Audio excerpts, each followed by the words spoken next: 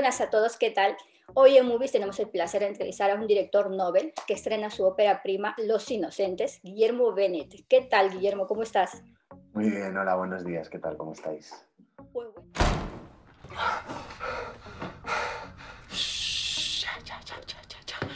¿Qué pasa? ¿Qué? Pues bueno, vamos a empezar la entrevista. Primero, felicitándote de verdad por la película y que nos cuentes primero Dime, sinceramente, ¿ha sido muy, muy difícil llegar hasta aquí y hacer ese trabajo, este primer largometraje? ¿O al contrario que a ti, que a otros directores noveles, ha sido más fácil? A ver, ha sido complicado. Eh, nosotros rodamos la película hace un montón de tiempo ya, la rodamos hace casi cuatro años y mm, y la escribimos hace cinco y digamos que sobre todo el proceso de postproducción ha sido un proceso muy largo. Em, a ver, yo imagino que todas las películas son complicadas, hay algunas que lo serán más, lo serán menos. También es mi primera película, entonces como que no tengo muchos referentes con los que comparar. Y bueno, yo sobre todo creo que ha sido un proceso en el que ha habido que tener mucha fe y muchísima paciencia. ¿no? Nosotros estábamos muy convencidos de, de, las virtudes de la película y como que estábamos también como hemos querido que la película saliese tal y como nosotros nos la imaginábamos.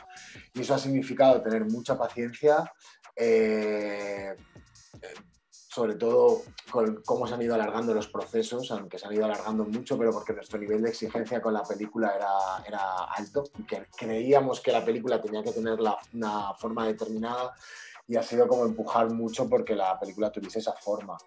Entonces, bueno, ¿ha sido complicado? Sí, también los medios económicos con los que hemos hecho la película han sido muy escasos, pero el hecho de tener mucha exigencia con cómo tenía que ser a nivel formar la película ha hecho que todo se alargase. Entonces, bueno, no diría que ha sido complicado en el sentido de que hayamos sufrido, pero sí que ha sido complicado en el sentido de que los plazos se han alargado, digamos que al final nosotros no hemos podido cumplir con, los, con el tiempo con el que cumplen las películas más industriales, ¿no? que sí que consiguen como agilizar los plazos. Nosotros hemos tenido que armarnos de paciencia y asumir que, los plazos iban a alargar. Y ya está. Y aparte las has estrenado en el Festival de Sevilla, también eso ha sido un, un, impulso para tu, para tu película, ¿no? ¿Cómo fue el feedback? ¿Cómo fue un poco la emoción? ¿Qué pasó por tu cabeza ese día del estreno? ¿Cómo estabas? Pues bueno, estábamos muy emocionados. También, o sea, este, estos días recordábamos mucho dónde estábamos hace un año, ¿no? Hace un año estábamos terminando la película y de repente vino toda la pandemia y nos asustamos mucho, ¿no? Porque era como que de repente muchos festivales cancelaban, otros reducían programación. Y me acuerdo que cuando salió lo de Sevilla, yo tengo mucha relación con el Festival de Sevilla en el sentido de que voy, he ido muchos años es uno de mis festivales favoritos. Tengo varios amigos que han estrenado allí, tuvimos un corto hace tiempo. digamos que de todos los festivales de, España, pues junto con San Sebastián y alguno más, Sevilla es de mis favoritos intento todos los años. Entonces, cuando de repente nos confirmaron que nos habían seleccionado para Sevilla, fue una alegría increíble. ¿Qué pasó? Que de repente eh, tuvieron que pues a dos, tres semanas de empezar el festival, ellos tuvieron que cancelar el hecho de que nosotros pudiéramos viajar, porque de repente hubo otro pico y como que de repente fue un poco duro eso. Y el Festival de Sevilla hizo un trabajo increíble por conseguir mantener la programación en las salas.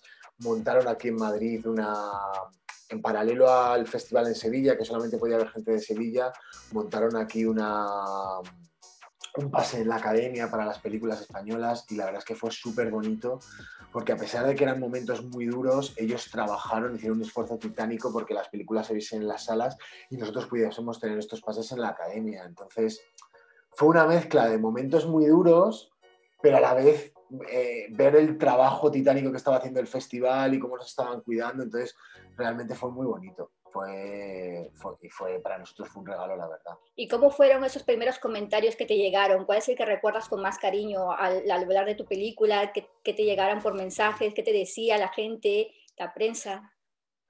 Fue, fue muy bonito porque, claro, nosotros, por ejemplo, em, eh, la productora de la película, Cristina, en ese momento estaba en Sevilla coincidió que estaba en Sevilla y claro, ella podía ir a los pases de allí, ¿no? Y entonces era, era muy bonito ver cómo por un lado ella estaba cerca de la gente, cerca del público, pero por otro lado no estaba con el resto del equipo que estábamos aquí. Me acuerdo que el diálogo con Cristina era muy bonito porque, claro, los dos echábamos de menos lo que tenía el otro, ¿no? Como que ella echaba de menos poder vivir el estreno de la película con la gente que lo había hecho y nosotros deseábamos poder ver cómo cómo era eh, la recepción del público, ¿no? Porque claro, nosotros el pase que montamos aquí era un pase pues muy con los medios, muy con, eh, muy con el equipo, muy con gente que habíamos invitado nosotros, pero no era un pase abierto al público, era un pase completamente cerrado.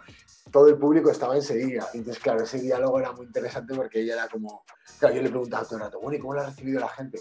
Y por otro lado, nuestra peli, que es una peli pues formalmente muy especial, que no se había abierto al público, o sea, que no teníamos ni idea de cómo iba a llegar al público, claro, le preguntábamos mucho a Chris cómo había llegado y fue muy bonito ver, como ya nos contaba, que la peli llegaba de una manera muchísimo más fácil de como nosotros nos esperábamos, ¿no? Que también eh, eh, eso fue muy bonito y como de, repente la peli llegaba a un público muy amplio y como realmente la recepción fue súper buena.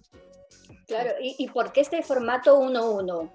Sí, em, bueno, nosotros, para mí las decisiones formales de la película son una, ¿no? Como el hecho de que todos sean retratos, el hecho de que todos sean planos secuencias, el hecho de que el trabajo de sonido sea como es, no está separado del 1-1, ¿no? Como que el 1-1 es una decisión más dentro de ese conjunto, esa batería de decisiones formales. Nosotros cuando estábamos, elaboramos la última versión de guion y empezamos a entender cómo iba a ser el rodaje y sobre todo para mí la película, el guion leído, me transmitía unas sensaciones muy claras, ¿no? Sobre todo con respecto a cómo tenía que ser el trabajo, cómo... Para mí el guion hablaba de ciertas cosas muy claras. Una era la soledad y había otra cosa muy importante que era la relación entre el individuo y el colectivo.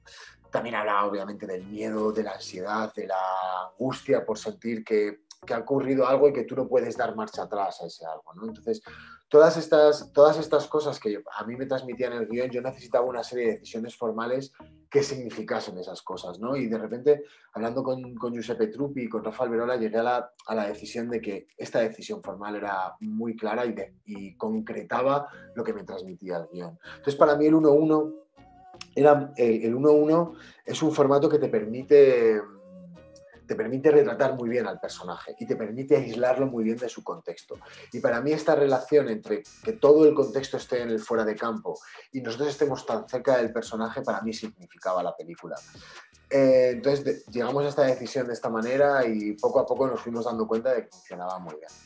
Te has ir, eh, juntado con un grupo muy especial, muy joven y con, y con, mucho potencial. ¿Ha sido muy difícil reunirlos a todos? Bueno, a ver, hay que contar también que nosotros rodamos hace cuatro años, entonces como que hace cuatro años eh, todos estábamos en otro punto. Em, creo que todos ellos son unos actores increíbles y por eso, o sea, la película implicaba un trabajo actoral tan potente, o sea, como que si ellos no estaban bien, la película se caía por todas partes, ¿no? Entonces teníamos que contar con actores, con actores muy buenos, con actores que supiesen manejar todos los elementos que hay en la película, pero a la vez que fuesen jóvenes, ¿no? Entonces, hace cuatro años, claro, eh, en estos cuatro años su carrera actoral ha crecido mucho, pero hace cuatro años como que no estaban en el lugar en el que están ahora. Sin embargo, ya eran los actores que son ahora, es decir, eh, confiar en ellos no fue difícil porque en los ensayos y en los momentos previos a rodar, nosotros ya veíamos que eran actores muy buenos y que iban a poder sostener lo que implicaba la película.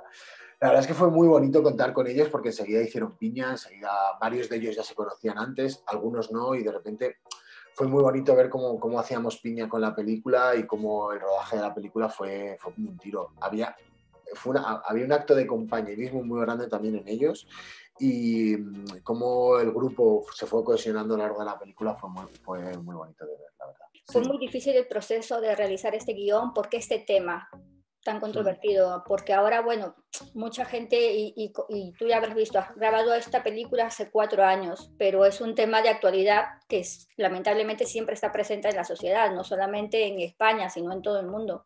Sí, a ver, el trabajo de guion realmente yo coescribo mucho con Rafa Alberola, que es mi socio en Bermud Films, entonces digamos que el trabajo con él siempre es súper fácil. Eh, hay algo súper natural ya de, de, escribir con él y en ese sentido el trabajo con él fue, fue muy fácil. El origen, o sea, por un lado el origen de la peli está en unos sucesos, en una película que, que española que se llama Ciudad Muerta, Eh, es una peli catalana del año 2013-2014 y es una película que narra unos acontecimientos que van desde 2003-2004 más o menos y cuenta 10 años de proceso judicial, ¿no? Y que realmente cuenta unos sucesos muy violentos y, y, toda la violencia que hubo a nivel judicial y a nivel social con respecto a unas personas que fueron acusadas injustamente. Y el origen está en esa película. Nosotros quisimos alejarlo del, de, digamos, el universo contextual de Ciudad Muerta y digamos que quisimos alejarlo de allí porque Ciudad Muerta ya cuenta muy bien esos sucesos y son algo que nos queda muy lejos a nosotros, pero nos parecía muy interesante como todo el proceso humano que había detrás de Ciudad Muerta, ¿no? Y quisimos atraerlo a nosotros y acercarlo a nosotros. A ver, a mí me parece que esa violencia es una violencia que está en el sistema. Me parece que es una violencia endémica, me parece que es una violencia que está en, que forma parte del mundo en el que vivimos, de la sociedad en la que vivimos y de que el sistema, voy a, voy a decir, capitalista neoliberal en el que vivimos, la provoca de alguna manera. Entonces, en estos cinco años, constantemente, ha habido momentos en los que de repente ha habido sucesos y siempre venía alguien y nos decía, joder, ahora la peli qué vigente está, ¿no? Para mí es algo que no va a desaparecer y también para mí es muy importante entender que la violencia, esa violencia sigue ahí aún cuando no haya sucesos en la calle en los que se queman contenedores o se rompen lunas o haya un desalojo. Eh, creo que es algo que forma parte del sistema en el que vivimos. Es decir, para mí esa violencia no se puede separar del hecho de que los partidos políticos, muchos partidos políticos estén condenados por corrupción, no está separada de la violencia que implica que los bancos estén desahuciando a gente cuando se les ha rescatado a nivel social, eh, no está separado de que el rey huya de este país o del hecho de que en la película de Ciudad Muerta una, una chica que ha sido acusada falsamente por un crimen que ella no ha cometido se acabe suicidando. Creo que eh, la, violencia lo, de alguna manera lo empaña todo. Lo, implica que la, gente cuando vive estas cosas se va cargando, se va, se va encuerpando con esa violencia y de alguna manera estalla. ¿no? Para mí también es muy interesante entender cómo las personas que ejercen esa violencia son personas normales. A nadie le gusta, a nadie le gusta eh, quemar contenedores, tirar piedras de alguna manera la sociedad les lleva ahí y eso ocurre cuando no les queda, cuando sienten que no les queda otra salida, ¿no? Como no es una manifestación natural de las personas ser violentas, ¿sabes? Y creo que también que la sociedad entienda eso me parece súper importante. Y cuéntame, Guillermo, has tenido, un poco ya para ir terminando, quería saber si has tenido algún referente o tienes algún referente cinematográfico. Sí, no sé, a ver. Em, por un lado, la peli tiene referentes muy claros que son Rasomón, Jaffer. Nosotros vimos también El hijo de Saúl, que justo salió unos, unos meses antes de que nosotros rodásemos. Eh, por ejemplo, también hablamos mucho de Fuerza Mayor. Em, los referentes de la película son muchos y muy variados.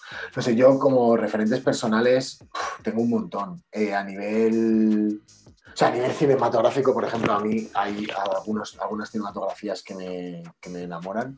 Por ejemplo, soy un profundo enamorado de, de, Tarkovsky y de Kubrick y de Berman. Creo que son dos de los referentes más importantes para mí. No solo, no solo, como, no solo como cineastas, sino también como pensadores. Me parecen, para mí están en, en mi altar, están ellos tres. Em, y luego de gente de mi generación creo que hay grandísimos directores. Para mí, eh, no sé, eh, creo que Carla Simón, la, eh, Verano 1994 me parece una de las grandísimas películas de nuestra generación. Me parece una película increíble y, brutal.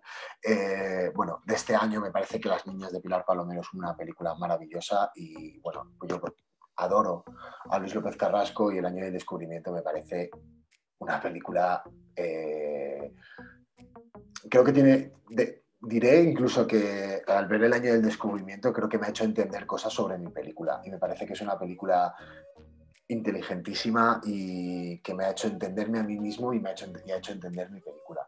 Entonces, bueno, creo que ahora hay gente joven y gente de mi generación que está haciendo un cine, eh, que está haciendo un cine, un cine estupendo y bueno, creo que hay que estar muy al tanto de lo que hace la gente de nuestra generación porque está como cambiando un poco el paradigma, está cambiando la manera de hacer cine, está cambiando la manera de entender el cine y creo que también está consiguiendo atraer a un público de una manera nueva y de una manera súper interesante. Estrenando también, pues eso, en unas condiciones que no son las que eran hace dos años. Sí, a ver, es verdad que con todo esto ha habido como un hueco de repente muy, muy interesante para el cine independiente y como que de repente eh, pues lo que ha pasado este año en Los Goya es muy paradigmático de ello, ¿no? Con Las Niñas, Anne también, que es una película muy guay, que ha funcionado muy bien, y El Año del Descubrimiento. Y de repente la sociedad se está dando cuenta de que hay un cine independiente, que es un cine que, que, que también está, yo creo que mucho más pegado a la realidad y a la actualidad española, es un cine más cercano y que al final consigue, yo creo que enganchar muy bien con el público en el sentido de que es una, son películas que hablan de conflictos más reales y que de alguna manera traen la realidad al cine y a las salas. Y yo creo que pueden conseguir un vínculo más cercano con, con la gente. Y eso me parece súper interesante, claro.